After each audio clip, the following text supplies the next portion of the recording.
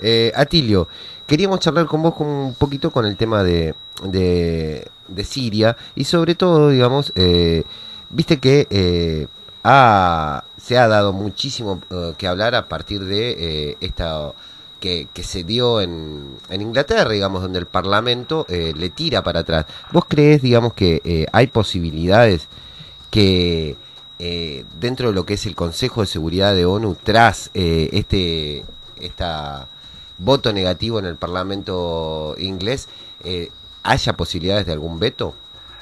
Mira, yo creo que, a ver, el Consejo de Seguridad eh, va a ser soslayado. O sea, Obama no va, no va a pedir la autorización del Consejo porque sabe que Rusia y China se van a oponer. Digamos, van a ejercer el derecho de veto. También se va a oponer la Argentina, pero Argentina no tiene derecho de veto, ¿verdad? Aunque sea miembro del Consejo ahora. Así que yo creo que él lo que va a hacer es tratar de lograr una mayoría sólida en el Congreso de los Estados Unidos. Si logra eso, y si eh, los franceses persisten en esta actitud absolutamente claudicante y vergonzosa que ha asumido el socialdemócrata Hollande, y si en una de esas Cameron dice que tiene nuevas pruebas y vuelve a tomar un voto en el Parlamento británico y el Parlamento británico le da un ok, entonces el hombre se tira con todo, ¿no es cierto? Él está impulsado por un juego de fuerzas muy, muy poderoso, ¿verdad? Porque, por empezar, hablemos del complejo militar industrial, esa gente necesita guerras. Yo hice un calculito que salió en el blog mío ayer, no sé si lo vieron, eh, están calculando mínimo disparar unos 500.000 misiles Tomahawk calcula cada misil vale mil, un millón cuatrocientos mil dólares. O sea, la Raytheon, que es la empresa que los produce, y de un saque, viste, gana más o menos 700, 750 millones de dólares. Y eso si tiran apenas este un cierto número, 200, eh, de repente pueden tirar más, ¿no es cierto? Entonces, hay intereses muy fuertes por ahí. Están muy fuertes los intereses del lobby judío, impulsando, porque acá no hay que olvidarse, eh, sí, Pablo, que el objetivo fundamental acá es acabar con Irán. O sea, Siria una, una escala intermedia, ¿verdad? El tema es acabar con Irán. Y entonces este, ahí eh, eh, Israel, Arabia Saudita y Qatar están muy metidos en ese juego, por múltiples razones por razones del debate ideológico contra los chiitas, contra el fundamentalismo chiita, y por algo mucho más prosaico, que tiene que ver con petróleo, ¿no es cierto? Ahí eh, por Siria se eh, pasan y se disputan dos grandes proyectos de oleoductos que irían a alimentar a Europa Occidental. Uno, que es un proyecto que tiene que ver con Irán, Irak y Siria, y el otro que tiene que ver con Arabia Saudita, Qatar, Turquía. ¿Te das cuenta? Y en donde los rusos están en el primero y los americanos en el segundo. Entonces, eso está ahí, obviamente, jugando. Y aparte el tema del cual no se habla nada y que a mí me parece que es realmente decisivo, el tema del agua. Eh, las dos terceras partes del agua que se consume en Israel o que baña Israel provienen de territorios árabes ocupados de Cisjordania una parte y de las alturas del Golán de Siria del otro. Entonces es el momento de ajustar cuentas y resolver todo esto de manera definitiva, liquidando el gobierno sirio, poniendo un gobierno títere de estos, de este, de esta alianza norteamericana, israelí, saudita, catarí, etcétera, y por eso creo que Obama, más allá de lo que él pueda pensar, que de todas maneras no piensa muy diferente, tiene todo este juego de fuerzas que lo impulsa de manera muy, muy eh, así vigorosa a avanzar en, el, en el bombardeo. Atilio, ¿cómo te va? Eh, Pablo. ¿Qué tal, eh, Pablo? Buen día, qué gusto. Bueno, no, muy contentos de, de, escucharte. No quería dejarte de saludar y obviamente siempre agradecer a Martín que tiene ahí la iniciativa de molestarte. Nosotros a veces, por, mucho, con mucho pudor, nos, no, nos nos da a llamarte, pero eh, la, verdad que es un lujo para, para nosotros poder contar este, con, tu presencia acá en la, en la radio, que estás haciendo el debut en la versión rock and pop cooperativa, así que también nos pone muy contentos. Ah, qué bueno, lo felicito. Eh, Sabés que eh, una cosa que me había llamado mucho la atención del el tremendo programa que hiciste con Walter Martínez ahí en ah, Telesur, que nos lo devoramos. Eh, hay algo que, que, creo que por ahí se escapó de hablar, pero eh, y, que ahora ha tomado mucha relevancia. Eh, ayer John Kerry manifestó claramente que todo el operativo militar lo van a bancar los países árabes, la, la, infame Liga Árabe. ¿Crees que eso marca también un punto de inflexión? Porque yo no recuerdo que por ahí en lo de Irak o Afganistán haya una participación tan fuerte, o en el caso de Libia, este, tan involucrados, esto que vos nombrabas, este conglomerado de estos países chiquititos, ¿no? Que son estos califatos, ¿no? Eh, Abu Dhabi y todos estos lugares. Pero que ayer abiertamente John Kerry dijo, no, igual el operativo lo van a bancar ellos. Bueno, pero mira, Kerry, Kerry es un estúpido de esos de marca mayor. Y, los de la Liga Árabe son unos bandidos, traficantes, mercachifleros que le dicen vamos a pagar nosotros y a la hora a la hora vas a ver que van a terminar pagando los americanos este, no, no, no, es absolutamente inverosímil. Eh, por ahí me puedo equivocar y la, historia me da una sorpresa. Pero ellos también en su momento, cuando bombardearon Libia y cuando empezó lo de Irak, también dijeron, no, no, no, nosotros pagamos, después no pagaron nada.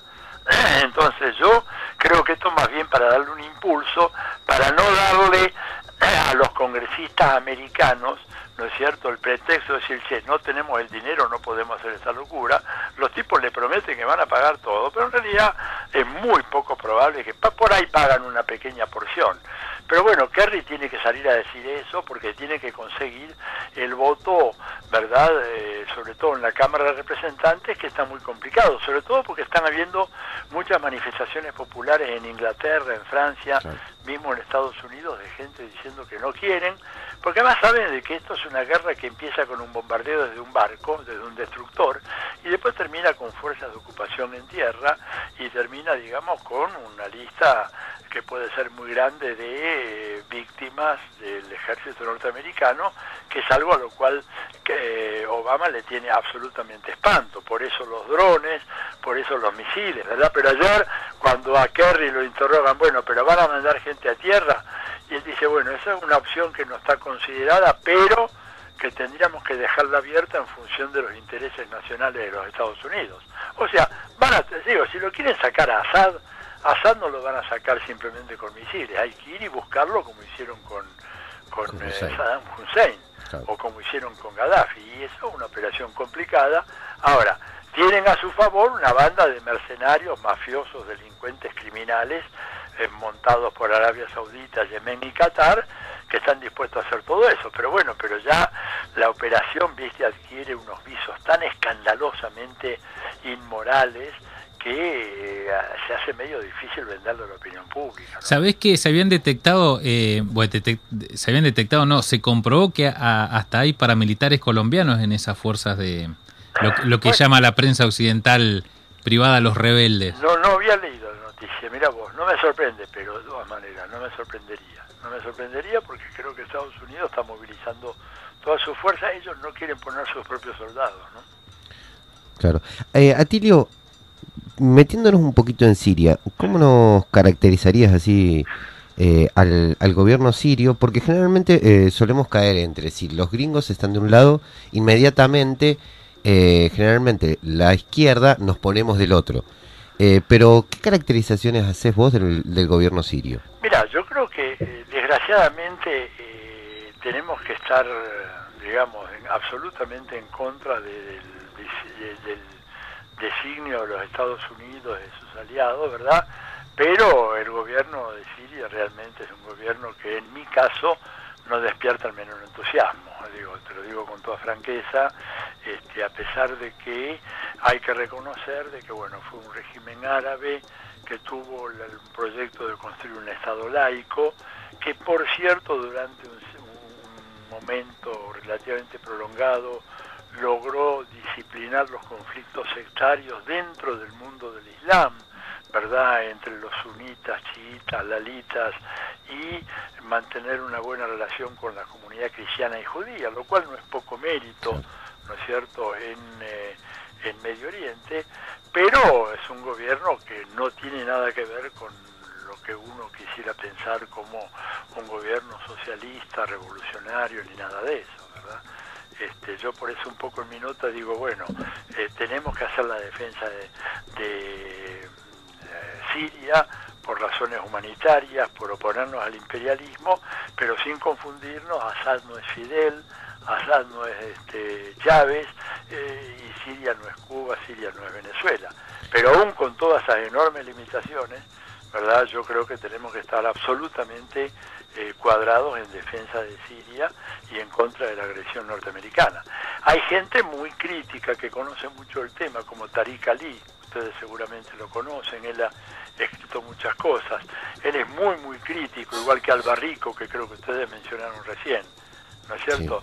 Eh, y yo creo que la visión de ellos este, a mí me preocupa un poco porque si bien lo que dicen va un poco en la línea de lo que yo estoy argumentando, pero rematan una especie de nueva teoría de los dos demonios, ¿sabes? Claro. Y acá no son dos demonios, o sea, acá hay un super demonio que está llevando a la humanidad hacia un camino de holocausto y tenés un régimen que realmente este, en muchos sentidos es aborrecible, ¿no es cierto?, que ha sido muy represivo, sobre todo incluso desde antes de la ofensiva que lanza la, la derecha mundial en el 2011, que fue muy represivo, digamos, etcétera, pero que, bueno, de todas maneras, uno podría decir, bueno, es el pueblo sirio el que tiene que sacarse de encima a un gobierno que no es un, un gobierno revolucionario, sino un gobierno en donde hay prácticamente una dinastía familiar entronizada y que se ha hecho del poder y que además ha sido muy colaborador con los intereses israelíes y los intereses norteamericanos.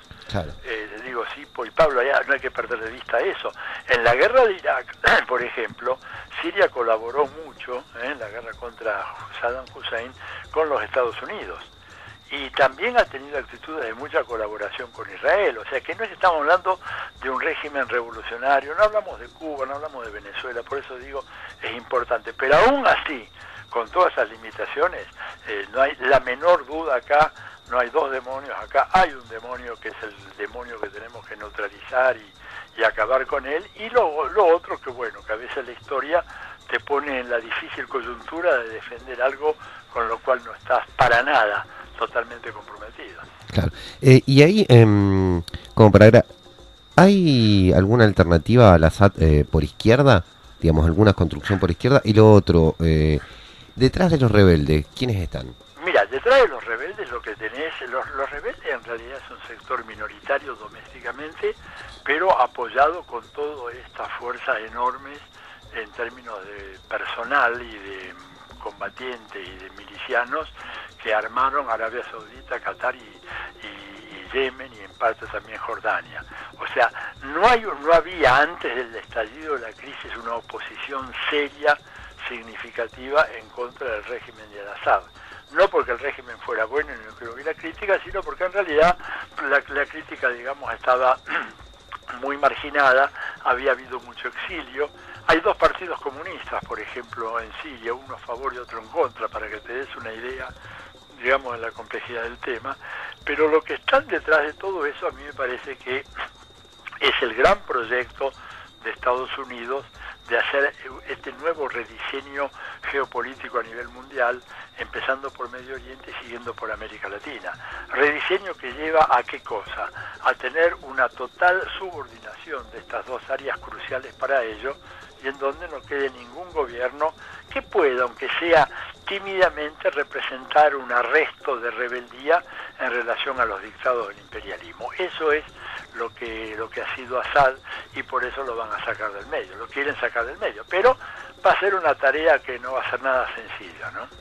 Eh, hay, un, hay un detalle, y con, esto te despedimos, Atilio, que a veces cuando se provoca ese debate sobre eh, qué postura tomar, ¿no? que también está esa especie de, retina histórica de, bueno, eh, de acuerdo a lo que decía la Unión Soviética, nosotros tomamos postura, ¿no? Que eso generalmente le pasa a veces mucho a, los europeos, ¿no? Para, para, y como e, ese, ese balance no está más, eh, también hay una especie de orfandad todo eso. Pero me quedaba el análisis también que incluso hacía Fidel de que se descartaba, que pueden repetir los escenarios, pero que eh, en todo caso una incursión militar en Siria puede tener un costo muy grave para, para la coalición por el tema también del nacionalismo cerrado que sí entra en un factor mucho más fuerte que en el caso de Irak y de Libia, teniendo en cuenta también el apoyo que va a surgir desde el Líbano o incluso del propio Irán. Y de Hezbollah. No, no, claro, mira, yo creo que eso además puede tener unas repercusiones tremendas porque eh, fíjate vos de que eh, al, revolver el avispero musulmán, que es un, caldero en permanente ebullición, estás generándole problemas muy fuertes a Rusia internamente e inclusive a, a, la minoría musulmana que está en China, que yo la menciono en el blog, que son por lo menos una estimación de mínima de 20 millones de personas. Entonces, digamos, por eso es que hay una actitud de tanto recelo en relación a esta iniciativa de los Estados Unidos. Pero yo eh, redondeo en un minuto diciendo lo siguiente. Aun cuando el régimen aquel sea la personificación del demonio en persona, ¿no es cierto? Estados Unidos no tiene absolutamente ningún derecho como para ejercer un papel de gendarme mundial, de ser el John Wayne mundial, el sheriff mundial, de meterse a resolver problemas, ¿no es cierto?, que son problemas de los pueblos. Entonces me parece que en ese sentido no puede haber duda absolutamente ninguna. Tenemos que estar absolutamente en contra y después nos encargaremos de, de bacer eh, a la sal. Pero primero, decirle, el imperialismo no puede meterse en esto y hay que rechazarlo, condenarlo moralmente, económicamente, con sanciones de todo tipo.